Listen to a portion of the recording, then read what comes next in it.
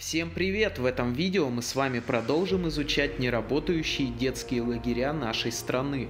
И в данный момент мы отправимся в лагерь Сосновый Бор, который, судя по плакатам, найденным в лагере, принадлежит пассажирскому вагонному депо города Орехово-Зуево.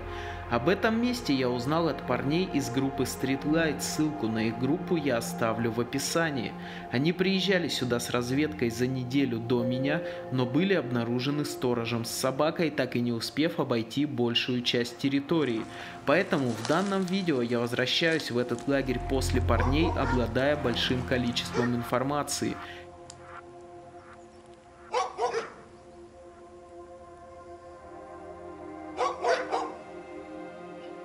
Если вам интересно узнать, удастся ли мне исследовать это место и не обнаружит ли меня сторож, то давайте телепортируемся вместе со мной в этот прекрасный июльский день 2019 года и начнем наше приключение.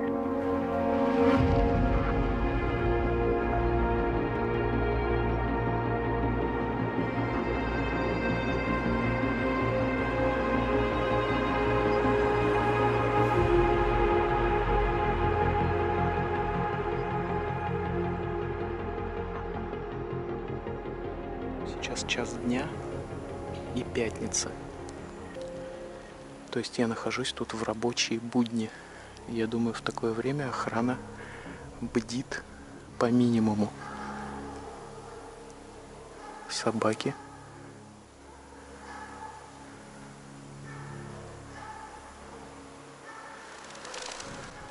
Находятся они достаточно далеко от меня. Где-то за тем зданием. С дровами. Я думаю, если туда не подходить, все будет в порядке. Вроде как они сидят все на месте. Начнем осмотр с дальних корпусов. Видно, что здесь он ходит очень редко. Вся дорога заросшая.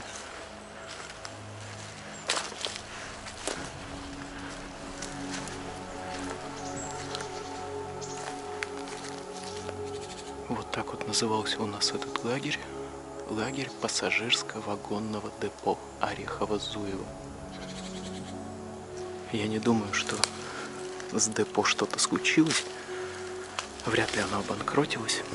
Скорее всего, они просто не хотят тратить деньги на это место. Вся дорога завалена листьями. То есть, мне кажется, к этому корпусу сторож ходит максимально редко.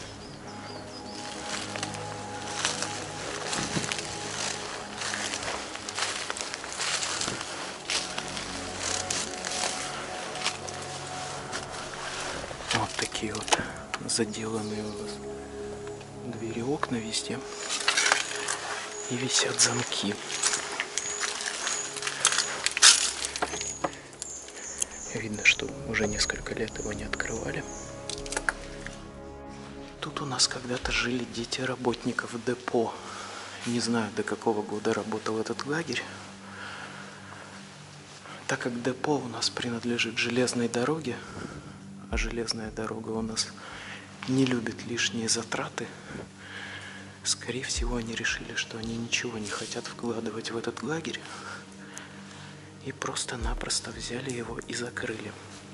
Посадили сторожа и, возможно, выставили на продажу. Как мы видим, никакого ремонта, ничего тут не было. Все достаточно просто. Крыша начинает протекать. Вся мебель куда-то спрятана. И вот у нас открывается остальная территория.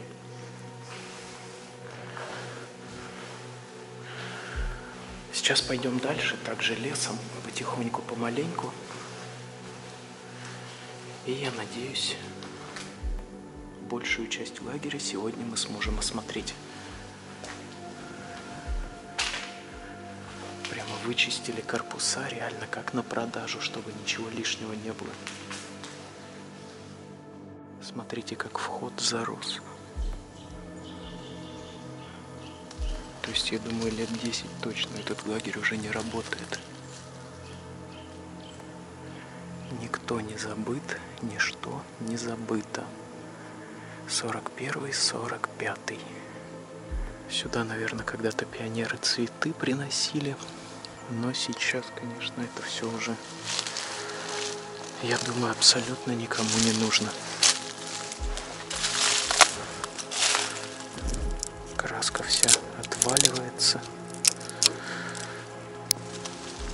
Тут, видимо, когда-то была центральная аллея, которая проходила мимо корпусов через весь лагерь и как раз вела нас к этой стелле.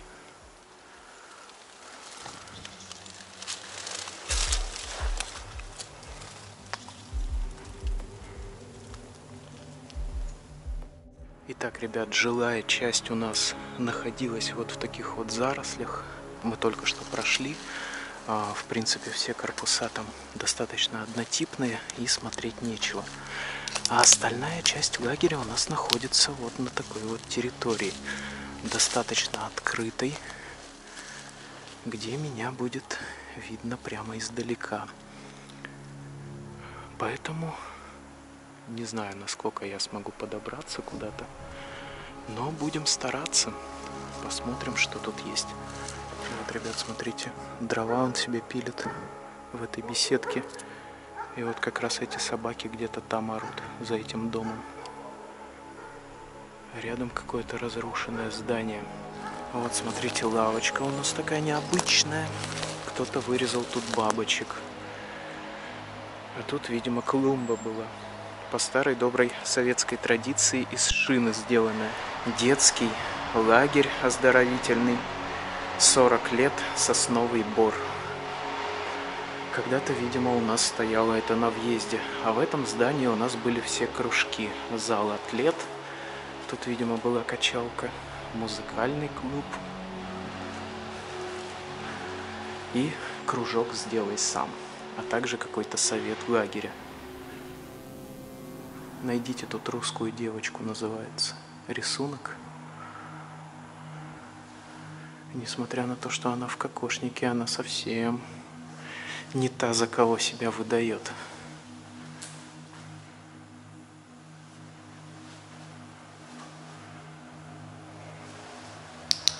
Собаки как-то неожиданно замолчали, может, вышел сторож, я не знаю, успокоил их. Главное, чтобы он не пошел делать обход неожиданно.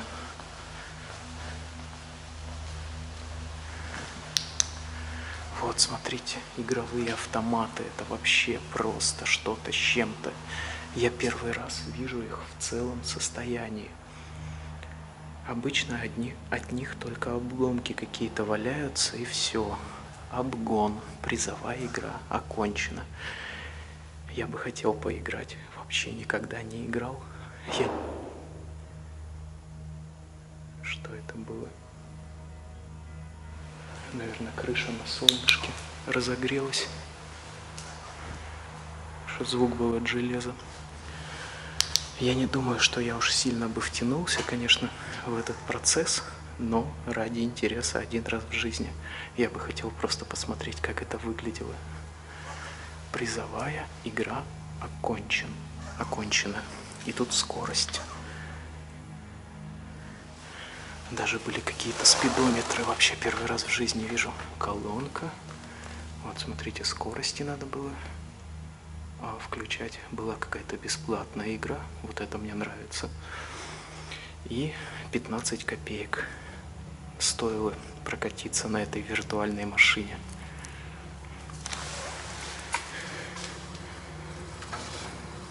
Руль крутится без всякого стопора.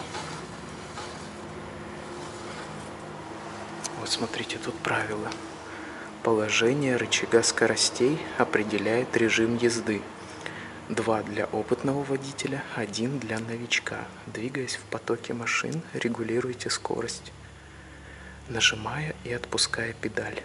Призовая игра присуждается набравшему не менее 400 километров в режиме для опытного водителя.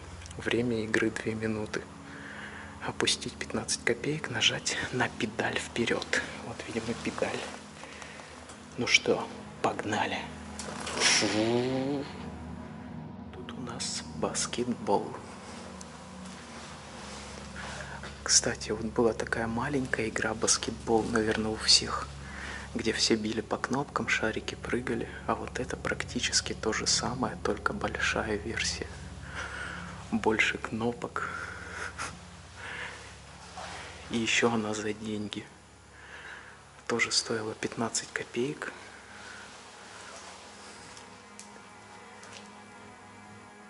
Не вижу мячика. А, кто-то вскрыл уже этот автомат. И, видимо, украл мячик на память. Там какие-то правила написаны.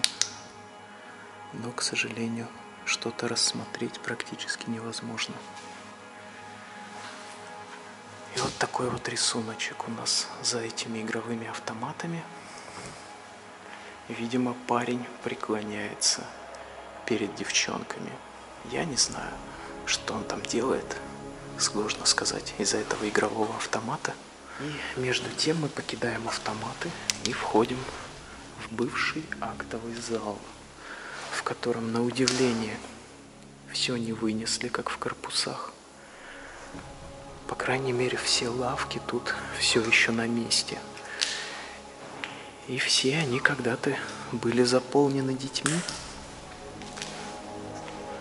Вот у нас, ребят, территория лагеря как раз, где я ходил, гулял. Пока вроде все максимально спокойно. Вижу, на сцене еще остались какие-то плакаты. Сейчас посмотрим на них. Отважный воробей. Кто это такой? Я не знаю, что он должен был символизировать. Сложно сказать, это что-то из современного уже творчества – Напротив еще его брат Воробей. Вот так вот эти ряды с лавками у нас выглядят со сцены. Чувствую себя просто какой-то звездой в сельском клубе. Так вот у нас эти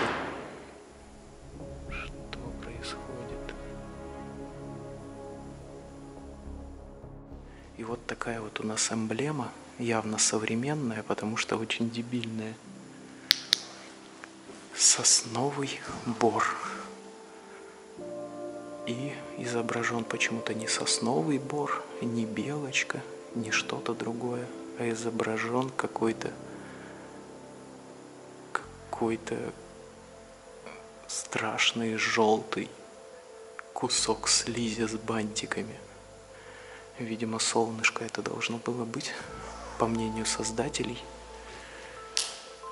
Я люблю лагерь Сосновый Бор 40 лет.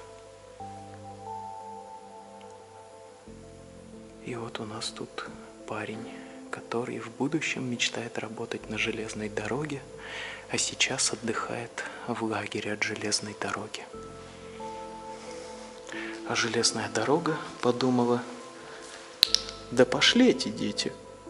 Счет в Швейцарии мне нравится гораздо больше. Я нашел вот такие вот примеры для заполнения для родителей, чтобы их ребенка взяли в пионерский лагерь. И из них мы можем установить, что последняя смена тут была в 2004 году. Вот, как мы видим, прошу предоставить мне выходной какой-то 2004 год прошу отчислить моего ребенка начальнику лагеря Махрову, тоже 2004 год.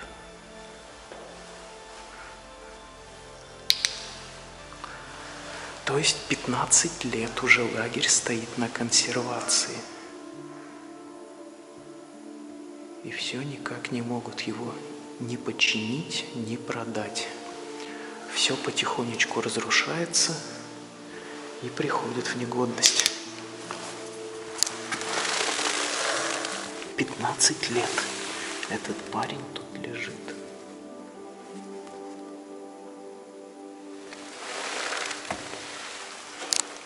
Опять же написано Наталька, 2004 год.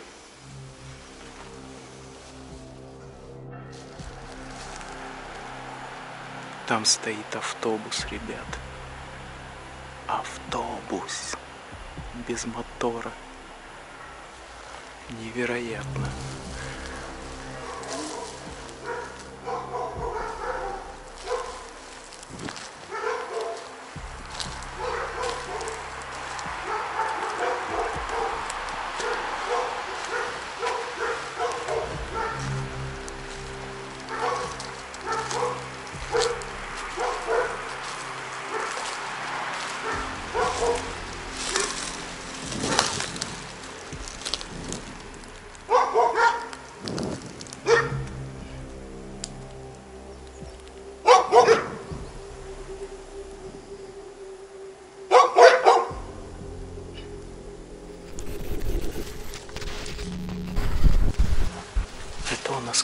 Была столовая.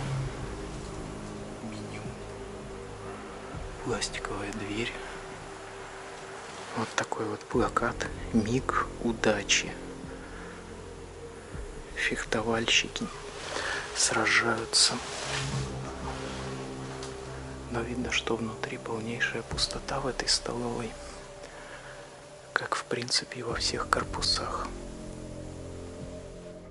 В общем, ребята, в лагере, как вы понимаете, особо смотреть нечего. Но ради адреналина можно поползать. Сейчас хочу через окошечко еще раз посмотреть на автобус, что там за автобус, и уже эвакуироваться отсюда.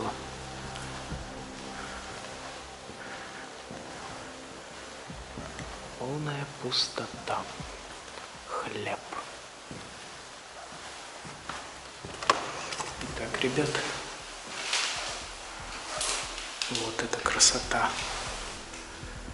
Автобус, который раньше возил детей. Явно с ним что-то случилось. Явно он уже никогда никуда не поедет. Внутри даже нет сиденьев, видно там стул валяется. Видимо, используется как склад.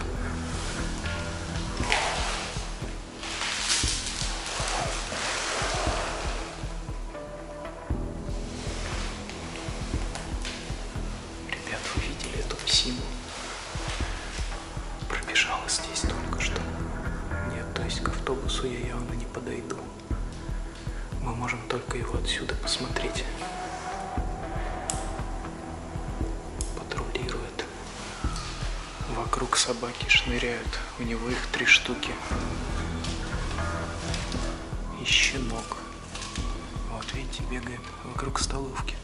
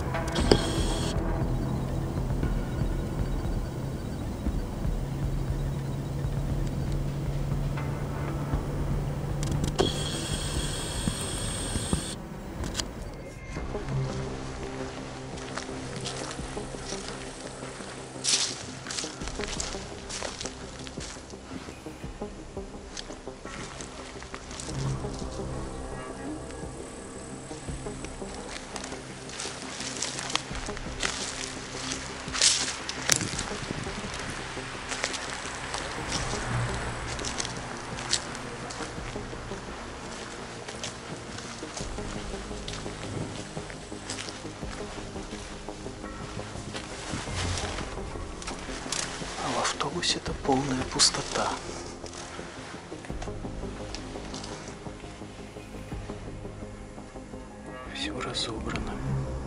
Все, ребят, я думаю, надо бежать отсюда в ужасе. Что все эти собаки бегают по территории вместе с ним. Сейчас он с другой стороны корпуса. Я думаю, мы тут все с вами посмотрели. И на этом нужно успокоиться и понять, когда нужно вовремя уйти. Я думаю, прямо сейчас. Идеальное время.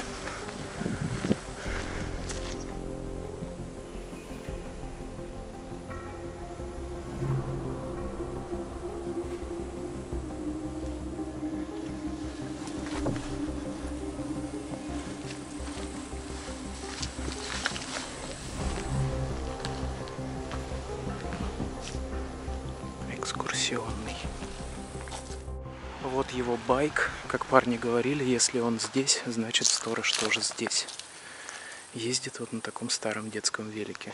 Наверное, где-то здесь его и подрезало детей. А тут у нас, кстати говоря, есть схема лагеря. Итак, ребят, все, вернулся я обратно к мотоциклу. В принципе, а, наверное, для вас там особо не было ничего интересного.